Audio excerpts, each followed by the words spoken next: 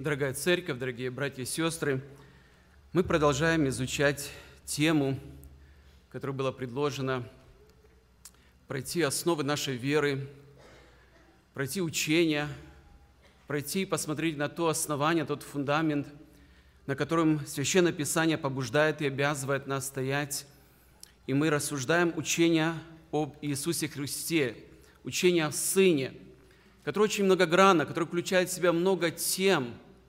А прошлый месяц, декабрь месяц, мы посвятили много, поскольку это был праздничный как бы э, служение, мы посвятили вопросу рождения Иисуса Христа, Его прихода на нашу землю, а, все, что связано с Его воплощением, цель, которую преследовал Бог, посылая Сына Своего в этот мир. Две недели тому назад мы говорили о праведности, праведности Иисуса Христа, которая вменяется всякому верующему человеку на основании не его дел, не его заслуг, братья сестры, на основании дела, совершенное Господом, а со стороны человека на основании веры, вменяется в праведность самого Сына. Прошлое воскресенье, кто был в нашем служении, мы говорили о важном событии в жизни Господа Иисуса Христа. Это Его крещение, крещение в водах Иордана. И это служение, это событие, это крещение засвидетельствовал сам Отец Небесный – мы слышали глаз с неба написано, в котором Отец засвидетельствовал, есть Сын мой возлюбленный, в котором мое благоволение. Братья и сестры, говоря о служении Иисуса Христа, я думаю, очень важно обратить внимание на событие, которое произошло сразу после крещения Иисуса Христа. Это событие в Писании называется «Искушение Христа в пустыне. Нужно отметить, а три евангелиста – Матфей, Лука, Марк – говорят об этом событии. Но интересно, что Марк подчеркивает это событие так, 1 глава, 12 стих. Вначале он говорит «немедленно». Слышите? Немедленно после того Дух ведет его в пустыню. Как только совершил Христос крещение в водах Иордана, как только Господь Отец засвидетельствовал и подтвердил а, свое благоволение к Сыну, Дух Божий немедленно ведет его в пустыню.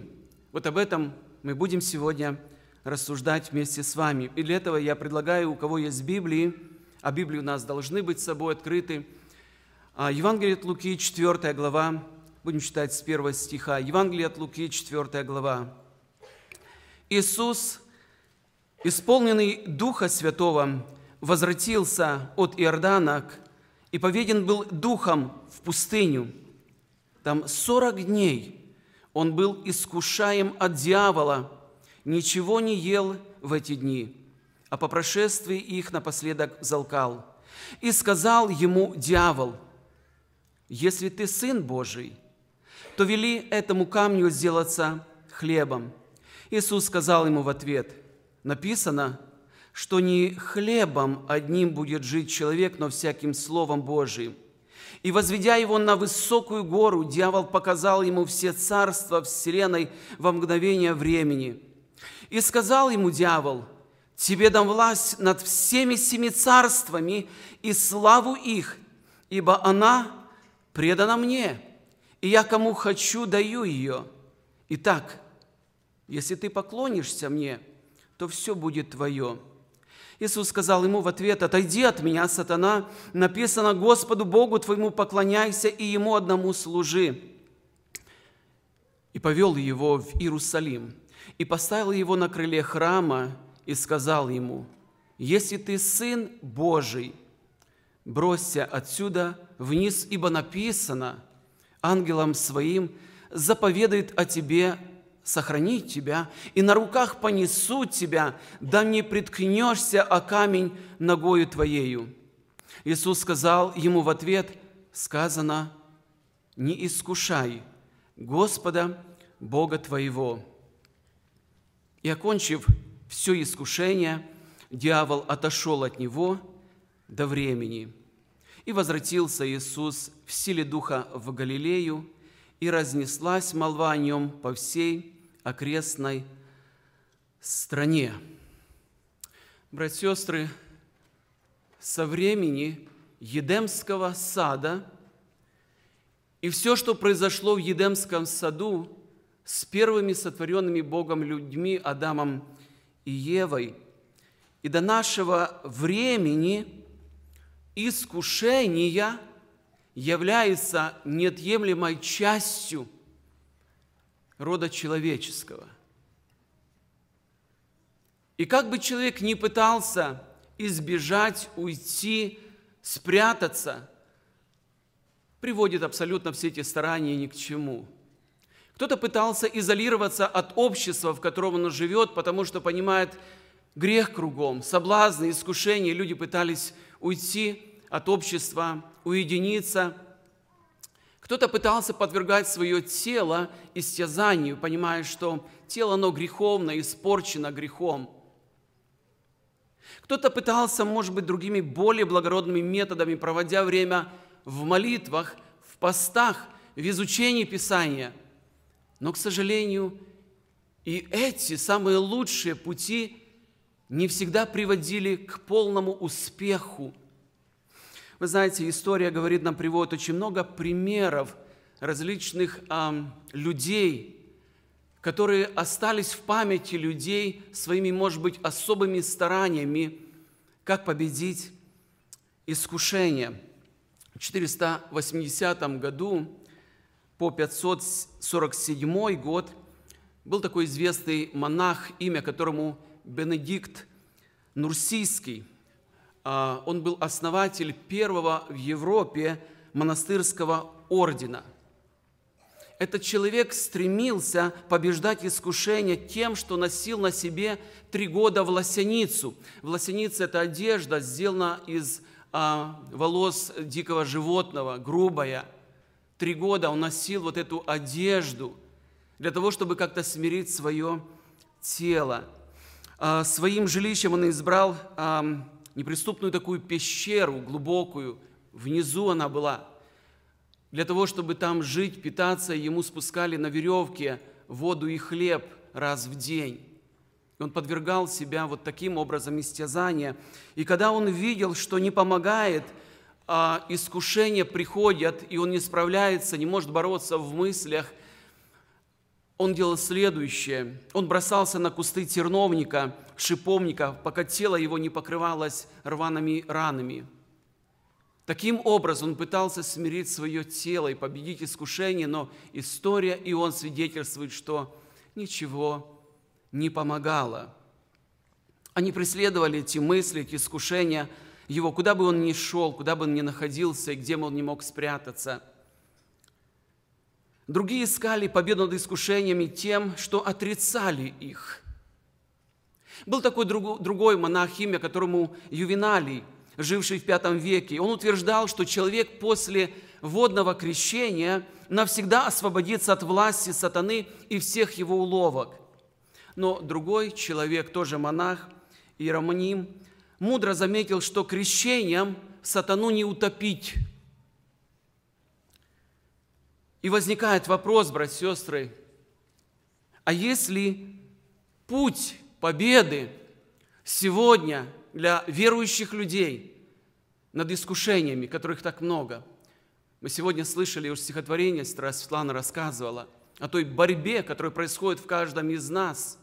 И если быть честными, открытыми, проанализировать просто свою жизнь, братья и сестры, каждый из нас в любом возрасте, в любом духовном уровне, в каком бы находился, дети, молодежь, пожилые люди, они подвержены страшным, порой нечеловеческим искушениям. Только Господь знает, и каждый из нас, братья и сестры, что нам приходится проходить. И возникает вопрос, братья и сестры, возникает вопрос, каким образом мы можем эту проблему, эту ситуацию, это испытание, эти искушения побеждать. Интересно, знаете, что евангелисты Матфей, Марк и Лука, они описывают, три евангелиста описывают величайшую духовную битву, со всех времен, которая была, братья и сестры, где единоборство вступил Иисус Христос. страшным врагом, коварным врагом, дьяволом. И возникает вопрос, братья и сестры, какую же цель преследовал Отец Небесный, Бог, ведя своего Сына сразу после крещения в пустыне Иудейскую, подвергая его нечеловеческим, я бы сказал, искушением со стороны сатаны. Интересно, что а, Лука подчеркивает, что в втором стихе, там 40 дней он был искушаем от дьявола. Здесь только упоминается три искушения, записано. Но евангелист Лука подчеркивает, говорит, в течение 40 дней он был искушаем, но не вошли, не написано, что это были за искушения. Писанием ясно говорит, что Христос – приступил, обратите внимание, к публичному служению только после крещения и после победы над дьяволом в пустыне. Это есть глубокая взаимосвязь, братья и сестры. Только после победы в пустыне Христос открыто провозглашает, что приблизилось Царствие Божие, о котором брат сегодня говорил Владимир. Братья и сестры, это очень важно – Пришел законный царь, пришел владыка мира, пришел тот, о котором пророк Исаия говорил, и нарекут ему имя князь мира. Братья и сестры, но нужно доказать свое господство. Нужно доказать свое, что ты законный царь. И когда Отец Небесный провозгласил с неба, то необходимо еще действительно было, чтобы люди убедились и знали – потому что Бог справедливый, и Он тоже считается в духовном мире, во всей этой истории, даже по отношению к сатаны, Бог поступает справедливо, чтобы слово не нарушилось, чтобы святость Его не была попрана для того, чтобы истина восторжествовала. Это очень важно. Почему было так важно? Братья сестры, давайте немножко вернемся в Едемский сад. Помните, первый человек Адам, представитель человеческого рода, он не был подвержен той испытанию, в котором оказался наш Господь Иисус Христос. Там не было страшной зноя, условий. Он не находился в посте. Он был окружен прекрасными условиями. Едемский сад, пища, Отец Небесный, который приходил, Бог, беседовал. Все было идеально. Братья и сестры, и он не устоял. Адам не устоял в этом искушении не только один, он представитель человеческого рода, братья и сестры, и мы последователи тоже все Адама, дети Адама, наследники в Адаме. Весь человеческий род оказался вовлеченным в последствии того грехопадения ужасного. Интересно отметить, братья и сестры, когда Иисус Христос приходит на эту землю, Он встречается сложным царем – и тем не менее, Библия называет его князем, господствующим в воздухе. Христос называет его князем. Писание называет его Бог с маленькой буквы, века сего. И дьявол говорит о том, что ему принадлежит власть. Он показал Христу, он имел возможность Христу показать во мгновение ока все царства мира сего – да, он незаконный, он обманным путем, коварным путем обманул человека. Но этот вопрос нужно было решить, и решить его правильно. Послание евреям, евреям 2 глава, 14 стих, а, апостол Павел говорит о победе Иисуса Христа, обратите внимание, упоминает, тоже имеет отношение к этому событию. Он говорит, а как дети причастны плоти и крови, то и он также – воспринял онные, то есть тело, плоть, кровь, дабы смертью, своей смертью в будущем лишить силы имеющего державу смерти, то есть дьявола. Слово «держава» переводится как «власть». Дьявол имел власть над смертью. И дальше говорит, избавить тех, которые от страха смерти через всю жизнь были подвержены, подвержены рабству. Все человечество находилось в рабстве. Поэтому Иисус Христос пришел царь, провозгласил свое царство, которое не от мира сего, но которое будет распространяться через слово в сердцах людей, о котором было уже сказано. Пришел, братья и сестры, очень важно 15 глава 1 послания Коринфянам, апостол Павел говорит вот эту мысль, что первый человек из земли, он перстный. Его имя Адам, и мы последователи Адама, наследники. Но затем он пишет, что второй человек, Господь с неба. Второй Адам упоминает, говоря о Господе Иисусе Христе. Братья и сестры, интересно, что в этих событиях, которые мы сегодня рассуждаем, искушение Иисуса Христа в пустыне, впервые явлена сила нового царя против сатаны, против ада в личном противостоянии. Да, впереди будет еще борьба в Гефсиманском саду. Впереди будет еще Голгофа. Впереди люди услышат «совершилось», победа будет одержана – но необходимо было вступить в борьбу в пустыне Иудейской. Иисус одержал первую победу с великим врагом, доказав свою силу и право называться царем царей и Господом господствующим и господствовать в будущем над всей вселенной, но начать свое царство в сердцах людей. Вы уже слышали, Царство Божие внутри вас есть. Давайте посмотрим условия, в которых находился Христос – заставляет нас задуматься над одним еще одним важным вопросом. Братья и сестры, Христос вышел на этот поединок как Сын Божий или как Сын Человеческий. Мы уже слышали в прошедших служениях в декабре месяце о том, что Иисус Христос обладает двумя природами. Он обладает божественной природой, абсолютной, стопроцентный Бог, и Он обладает человеческой природой, как стопроцентный человек – возникает вопрос, пользовался ли Иисус Христос во время своего служения как Бог, как Сын Божий, своей божественной природой. Безусловно, прощать грехи может только Бог. Воскрешать людей из мертвых может только Бог. И чудеса, которые Христос творил, может совершать только Бог. Но Христос пользовался и своей человеческой природой. Кто предстал в пустыне Иудейской после сорокодневного поста? Кто вступил в схватку с коварным, страшным врагом? Бог или человек? Братья и сестры, очень важный вопрос. Когда мы смотрим, говорим о том, что цель Бога – спасти человечество, то, что было утрачено в Адаме, и спасти это Божьим путем – путем, когда придет Иисус Христос, примет тело человека, природу человеческую и придет совершить победу над врагом душ человеческих, заберет эту власть и заберет ее законным путем, и он представляет, братья и сестры, не сам по себе, а новое творение. Кто во Христе, тот новая тварь. Новую абсолютно людей на земле, новую нацию, можно сказать, рождает через Духа Святого и Слова. Формирует Господь на земле новое абсолютно людей, церковь, детей Божьих, которые будут обладать и божественной природой, в том числе и своей греховной природой.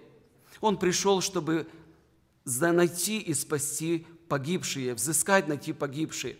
Он пришел, чтобы показать нам пример, что человек на этой земле может побеждать грех и может побеждать искушение – он показал, чтобы мы шли по Его следам.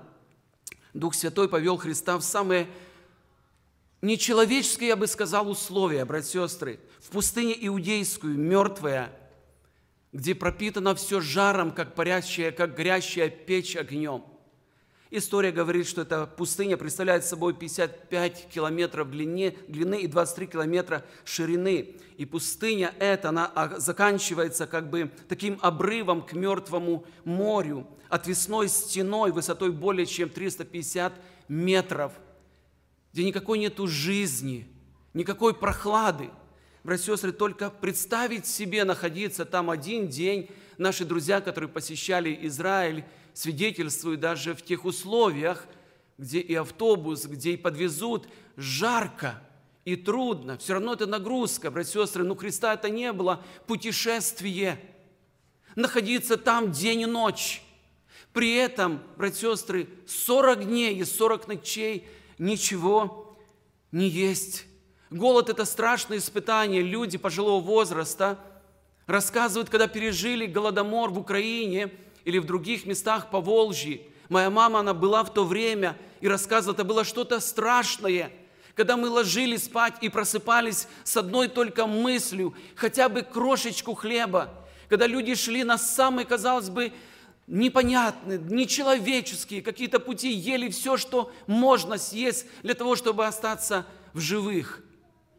Но Иисус Христос 40 дней и 40 ночей отказался от этого. Братья и сестры, я нахожу, что Иисус Христос предстал как Сын Человеческий, отказавшись добровольно от своих божественных атрибутов – несколько давайте подчеркнем, может быть, моментов или таких как бы свидетельств. Первое. Христу как Богу вообще не было нужды доказывать свое могущество перед, в победе перед дьяволом, потому что это доказано и это неоспоримо. Искушать Христа как Бога было бы также ну, неразумно, нелепо – Потому что дьявол прекрасно понимал, что Бог не искушается злом, он совершенно другой природы. Искушать Бога бесполезно. Третья мысль короткая. Дьявол никогда бы не пытался состязаться с Богом, зная его абсолютное превосходство в силе, в могуществе. Он прекрасно понимал, что силы абсолютно неравны. Поэтому все это еще раз доказывает, что Иисус был искушаем как человек. И это была цель Бога, связанная, братья и сестры, знаете, с кем? О ком думал Христос в пустыне Иудейской? О нас с вами. О каждом из нас. Он знал, что каждому из нас, братья и сестры, придется проходить земной путь. И на этом земном пути мы встретим с вами различные искушения. И написано, он был искушаем, если когда был искушен, то знает, как и искушаемым помочь. На мой взгляд, есть одна еще важная деталь. Когда мы смотрим на тексты Писания, обратите внимание третью главу, если можно, у кого Библия откройте, пожалуйста, Луки 3 глава, 23 стих начинается следующими словами. Иисус – начиная свое служение, был лет 30 и был, как думали, сын Иосифов, земной отец, муж Марии. И затем идет, братья и сестры, 75 имен людей, начиная от Иосифа и заканчивая Адамом. А потом, когда перечень заканчивается, начинается 4 глава с 1 стиха об искушении Иисуса Христа в пустыню. Казалось бы, для чего это? Почему вот эта деталь такая важна?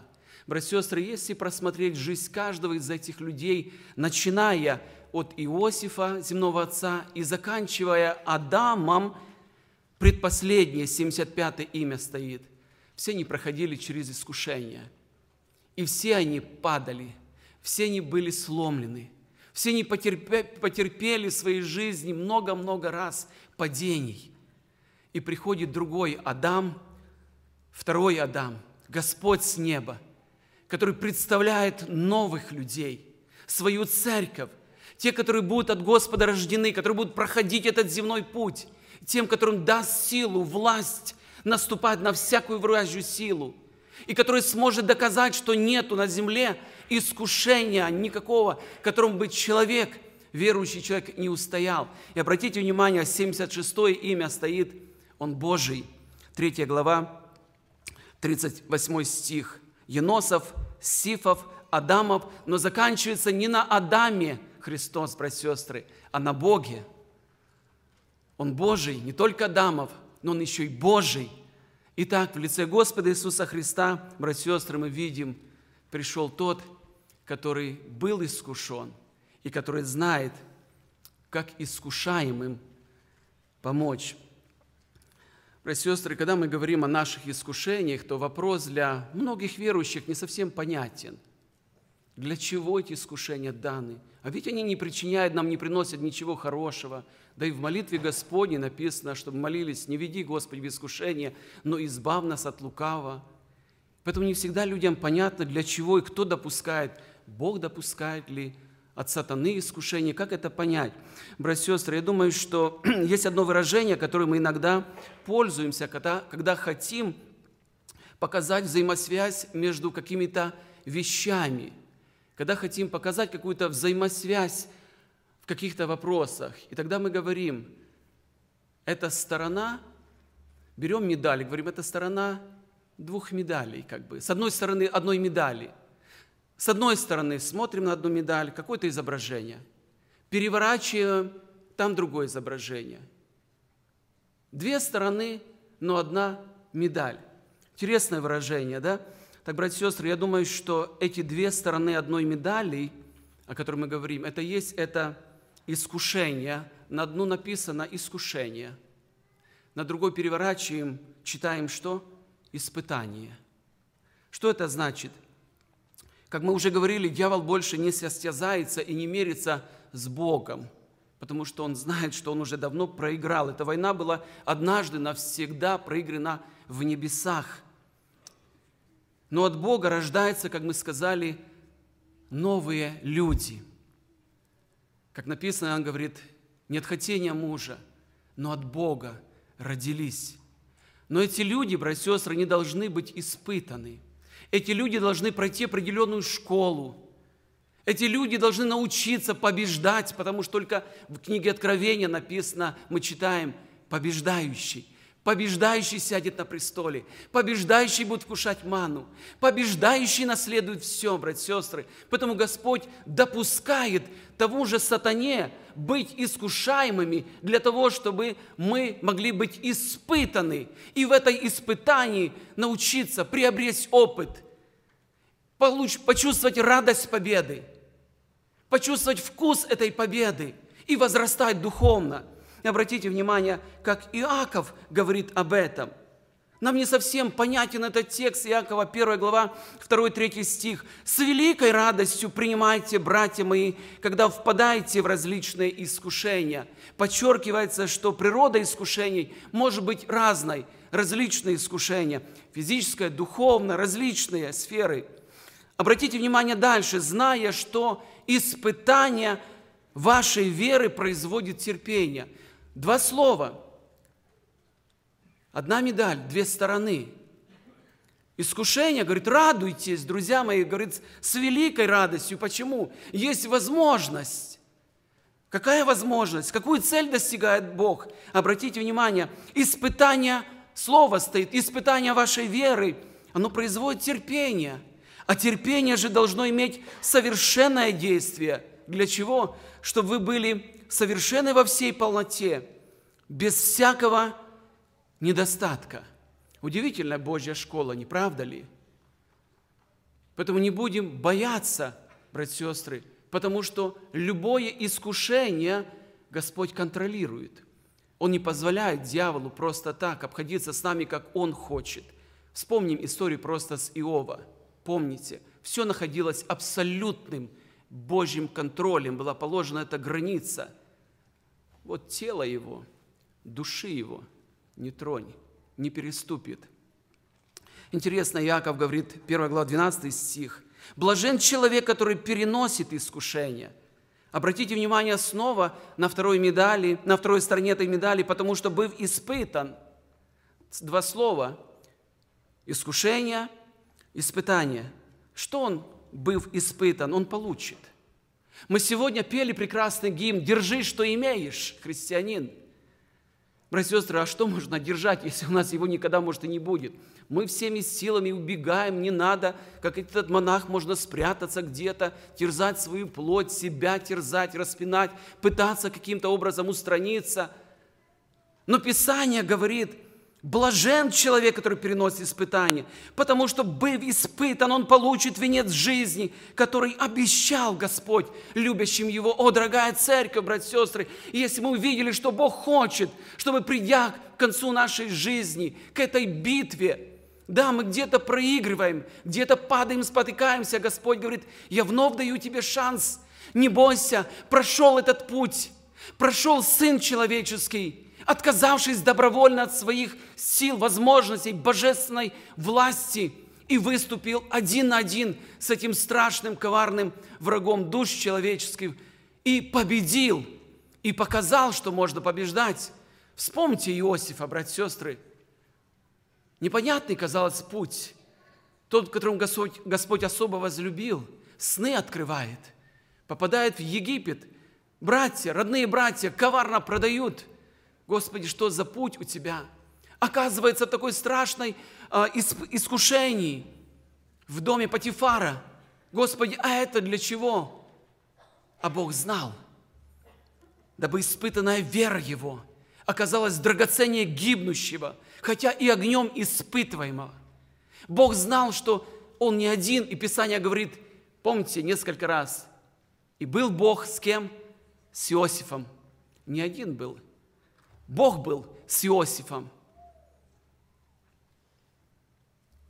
Иосиф знал, что верен Бог, который не попустит быть искушаемыми, как сверхсил, но при искушении даст и облегчение так, чтобы вы могли перенести, только перенести, но оказаться победителями.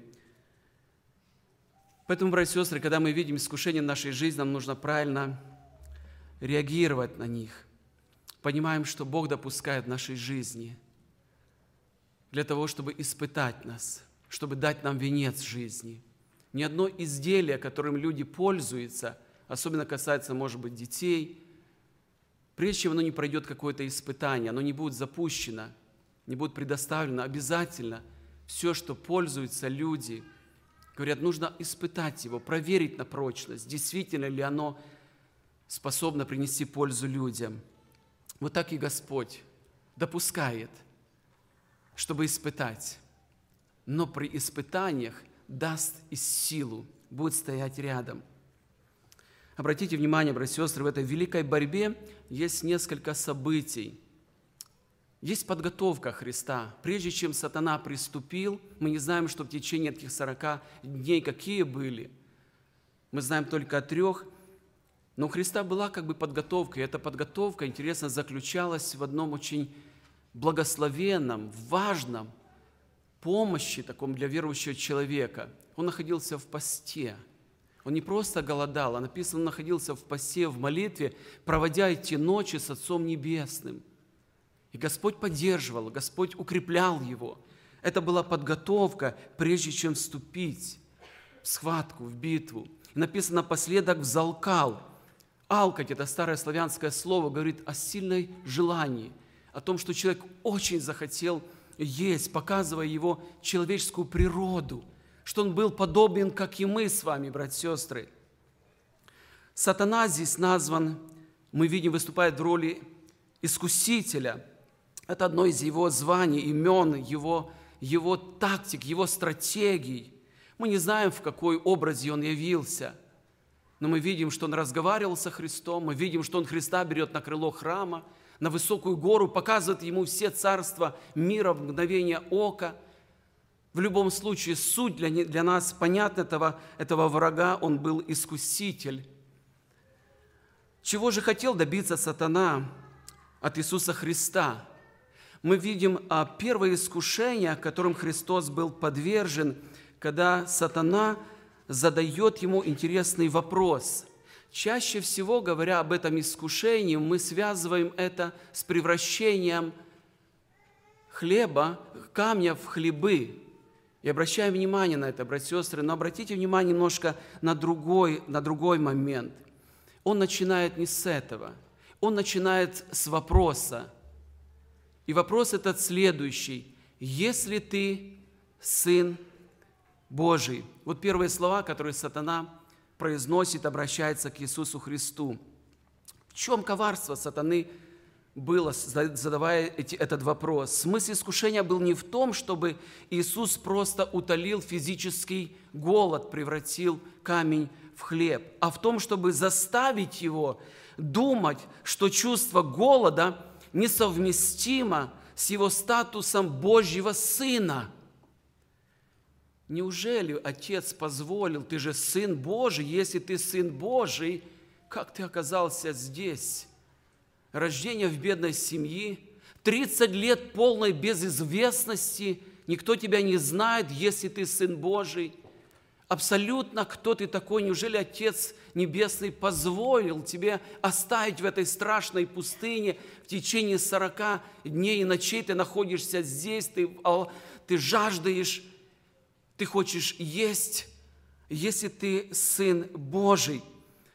Сатана хотел побудить Иисуса Христа, чтобы Он действовал независимо от Отца Небесного. Однако Иисус стал человеком, чтобы исполнить волю Отца. И его воля в точности совпадала с волей Отца. Он говорил, «Моя пища – творить волю пославшего меня и совершить дело Его». Филиппийцам 2 глава, 6 глава, 7 стих, апостол Павел говорит, «Он, будучи образом Божиим, обратите внимание, Он, будучи образом Божиим, не почитал хищением быть равным Богу, но уничижил себя самого, приняв образ раба, сделавшись подобным человеком, по виду, став как человек. Этот стих очень хорошо раскрывает суть этого искушения. Христос пришел в пустыню, отказался от божественных атрибутов. Поэтому дьявол побуждает его. Ну какой же ты, если ты Сын Божий, ну прояви Христос показал в самых ужасных условиях, есть выше вот этого земного хлеба. Ответ потрясающий, братья и сестры. При всем этом есть то, что человек может жить не хлебом, но обратите внимание, куда он направляет, но всяким словом, исходящим из уст Божиих. Вторая причина, братья и сестры, я вижу вот в этом искушении заключается в том, чтобы сатана стремился доказать невозможность победы человека над искушениями. Нет ничего удивительного в том, когда Бог побеждает сатану.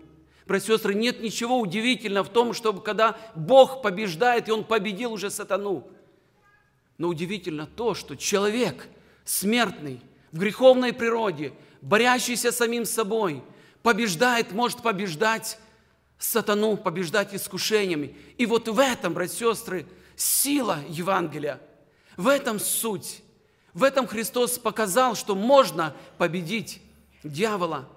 При этом его тело было настолько истощено. Благодарность Господу, братья и сестры, за эту победу. Какое бы ни было искушение в нашей жизни, братья и сестры, Знайте, что человек, рожденный свыше, имеющий Духа Святого, может рассчитывать на помощь от Господа и на победу в любых искушениях. На этом сатана не оставляет его, и вот интересна его стратегия. Он больше не спрашивает Иисуса Христа, сын ли он Божий. Он а, повел его, мы читаем, возводит его на высокую гору, дьявол показывает ему все царства вселенной во мгновение времени, и сказал ему дьявол, «Тебе дам власть над всеми семи царствами и славу их, ибо она предана мне. И я кому хочу даю ее, и так, если ты поклонишься мне, то все будет твое». Братья и сестры, Иисуса Христа было несколько путей для того, чтобы иметь власть над людьми – Первый путь заключался в том, что всемогущий Бог, если так вот рассуждать по-человечески, видя все человечество в грехе отпадшим, сотворить новое. Помните, когда-то уже Моисея была ситуация, когда Моисей ступался, говорит, отойди, я уничтожу этот род, и от тебя произведу другой. И Моисей говорит, Господи, нет, он ступается, просит. В истории уже было событие, когда Господь уничтожил род человеческий через потоп оставил только несколько человек. Но величайший Бог, который есть любовь, Он пожелал оставить вот это человечество, греховное. Второй путь был предложен сатаной, как, знаете, как бы опытный продавец. Обратите внимание, он во мгновение ока показывает свой товар, назначает максимально низкую цену. Все, что нужно тебе, поклонись. И все, что умеет, я тебе дам. Третий путь – это был самый тяжелый, самый тернистый путь. Это путь отвержения себя, путь нахождения в пустыне, путь страданий в Гефсимании, путь страданий на Голгофе, страдания, которые испытал через распятие, братья и сестры. И этот путь Христос избирает. Я бы хотел обратить внимание на вот это, братья и сестры, а, искушение, которым был Христос подвержен. Обратите внимание, что в большинстве случаев человек искушается через свое зрение. 90 где-то процентов все искушения приходят через наше зрение. Чаще всего оно очень яркое и впечатляющее искушение. Помните, реклама длится несколько секунд – но рекламодатели, которые вкладывают миллионы долларов в рекламу, они знают, что она будет с лихвой окуплена, окупится все эти затраты. Обратите внимание, все царства мира Христу были мгновенно, во мгновение ока. Не отводится для этой демонстрации очень короткий промежуток времени, мгновение ока. Но сделка предлагается заключить сразу – Поклонись, не думай, сейчас. Братья сестры, в нашей жизни не бывает так. Дьявол предлагает очень быстро, показывает в лучших красках и говорит, давай сейчас, бери, покупай, смотри, делай, говори. Все предано. Подумайте, братья и сестры, об этом. В нашей человеческой природе, братья и сестры, есть склонность признанию, к славе, к известности, в богатстве. Социальные сети, которые сегодня люди буквально опутаны этим, многие упались это. Вот я выставлю на Инстаграм, пусть оно там одну минуту, пять секунд побудет, зато 100 человек лайкнут. Я буду известный. Может, казалось бы, мелочь, друзья, но если смотреть намного глубже, люди хотят признания, люди хотят известности – и в духовной сфере, братья и сестры, это то же самое. И верующие люди подвержены. Меня знают, меня признают, мне на Ютубе можно посмотреть. Настолько коварно, настолько завулировано, настолько хитро, все мне предано. Обратите внимание, Иаков говорит, 1 глава, 14 стих, «Каждый искушается, увлекаясь, обольщаясь собственной похотью». Каждый обольщается, искушается, увлекается, обольщаясь собственной похотью. Братья и сестры, будем помнить, что дьявол ничего никогда так просто не дает, тем более не дарит. Дьявол никогда не просто не дает, тем более ничего он не дарит. У него все построено на основе лжи и только личной выгоды в его пользу и нашему вреду. Что-то предложит, какую-то сделку – но затем всю жизнь люди будут расплачиваться. Сколько сегодня изломанных судеб, сколько сегодня люди верующие потерпели кораблекрушение в вере, потому что где-то попались, потому что обольстились грехом, на доллару подсказнулись, захотелось лучшую машину, лучший дом, еще что-то. А потом нужно работать всю жизнь, чтобы все это отдавать Это очень великое искушение, братья и сестры. И есть одна победа, есть один ответ. Обратите внимание, как Иисус Христос говорит. Написано, Господу Богу твоему поклоняйся, и Ему одному служи. Когда наше сердце, братья и сестры, подчинено Господу, и когда наша жизнь направлена на поклонение только Ему и Ему одному, ничего другого, тогда сатана будет обезоружен – что ты мне можешь предложить, сатана? Царство этого мира, оно проходящее. Деньги, они не имеют силы, они не дадут счастья, не приносят здоровья, они не дадут спасения. Что сатана может предложить в этом мгновении, что он показал все царства? а Господь дает спасение. Господь дает свое царство. Господь дает жизнь вечную, братья и сестры. И когда наша жизнь приходит поклонении Богу, братья и сестры, не только на этом месте, а в нашей повседневной жизни, и когда мы наши ценности, приоритеты и образ жизни выстраиваем, Господи, что ж Тебе принесет славу? Тогда мы намного прочнее стоим, братья и сестры. Да, нам легко ответить. Написано, отойди от меня, сатана. И последнее, братья и сестры, у нас недостаточно времени, чтобы рассуждать. Обратите внимание, коварство сатаны. Он не оставляет Иисуса Христа, он берет его в Иерусалим, ставит его на крыле храма и говорит ему, если ты Сын Божий, бросься отсюда вниз, ибо написано, ангелам своим заповедает о тебе сохранять тебя, и на руках понесут тебя, да не приткнешься о камень ногою твоею. Интересно, смотрите, он вмещает в одном третьем искушении и называет, если ты Сын Божий, и говорит, я же тоже, ты отвечаешь мне Писанием. Так написано. В чем коварство сатаны, братья и сестры? Ложная интерпретация Писания. Ложную интерпретацию хочет подать нам Писание, не так, как это думает и записано Господом. Это очень важно. В мае 2012 года пастушку Стефану во Франции было видение.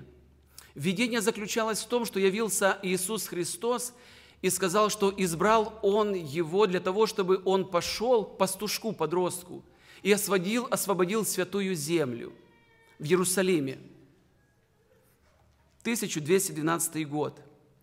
Этот человек, Стефан, с помощью других людей собирает подростков, 30 тысяч детей, которые отправляются в Милан, в Марсель, чтобы потом отплыть, освобождать землю. Интересно, в это время в Германии другому юноше было тоже так называемое видение, откровение о том, чтобы он тоже должен отправиться и при этом взять 20 тысяч, обратите внимание, не взрослых людей, не воинов, детей. Люди подхватили это видение. Люди сказали это от Господа. Что, чем закончилось это? При переходе через Альпы, с Германии через Альпы они должны были отправиться туда, во Францию – Большинство детей погибло от голода и холода. В это время в Марселе несколько богатых купцов, они обеспечили, купили семь кораблей, были погружены эти дети, подростки, и отправились туда освобождать святой город Иерусалим. Течение этого времени, когда были штормы, когда был голод, когда эпидемия, большинство детей, ребят погибло – Часть кораблей направили в Алжир, где дети были проданы в рабство. Братья сестры, настолько важно правильно понимать Писание, интерпретировать его, это Писание. Когда мы говорим «написано», мы должны внимательно изучать, кому написано, для чего написано, когда написано, когда это совершится. Помните, несколько лет тому назад, когда даже в этой стране человек, который имел э, семейное радио, Family Radio, да, он объявил о том, что ему открыто о том, когда придет Христос. Хотя скромный человек и жил, говорят, история очень скромна. Что произошло? Сколько людей повелись на это откровение? Чем закончилось для него, для людей, которые многие продавали, вкладывали деньги для того, чтобы, казалось бы, достичь хорошей цели? Обратите внимание, братья и сестры, что сатана делает? Он неправильно интерпретирует 90-й псалом – фанатизм, религиозный фанатизм связан с ошибочным толкованием Священного Писания. Псалом 92 стих, там написано так, говорит Господу, прибежище мое, защита моя, Бог мой, на которого я уповаю. Смотрите, как автор показывает свою связь, свое доверие, свою зависимость от Бога. Он не говорит, мне приснилось, мне ответил, мне Господь сказал, ты, Господь, защита, прибежище мое. Как Господь отвечает, как побеждает сатану, братья сестры. Во всех трех случаях, обратите внимание, Иисус сказал ему в ответ, «Не искушай Господа Бога твоего», сказано. Один короткий ответ, «Не искушай Господа Бога твоего». Дорогая церковь, дорогие братья и сестры, я хочу раз подчеркнуть, это очень важно. Некоторые люди сегодня обольщаются, читая, казалось бы, так тут же написано, вот так. Но когда написано, для кого написано, кому написано, как это понять, Господи, просвечи очи сердца моего, чтобы мне видеть, чтобы понимать Твою божественную волю. Братья и сестры, как нам оказаться победителях, победителями в этих вот искушениях, которые Господь допускает, чтобы провести нас через испытания. Несколько, три коротких совета. Обратите внимание, написано так. Иисус, исполненный Духа Святого, возвратился от Иордана и поведен был кем? Духом. Не сам пошел. В полное подчинение Отцу Небесному Духу Святому. Был веден Духом в пустыню – быть водимым Духом Божьим – это очень важно. И быть послушным, и слышать голос Божий. Второе – знать Писание в полном объеме и не изолировать отдельные тексты от контекста Писания. Христос очень хорошо знал Писание и цитировал его правильно. Не проводить время в праздности, братья и сестры. Это очень важно. Мы верим, что и христианин никогда не постигнут такие искушения, которые Бог бы не мог обратить это в его укрепление веру. Для того, чтобы испытанная вера его оказалась драгоценного, гибнущего даже золота, хотя и огнем испытываема. Поэтому будем, когда проходить жизненный путь, братья и сестры, каждый из нас, молодые люди, средний возраст, старшее поколение, мы будем постоянно проходить. И Господь будет допускать для того, чтобы укрепить чтобы получить и сохранить венец жизни, который Господь приготовил всем любящим Его. Да поможет нам в этом Господь. Аминь.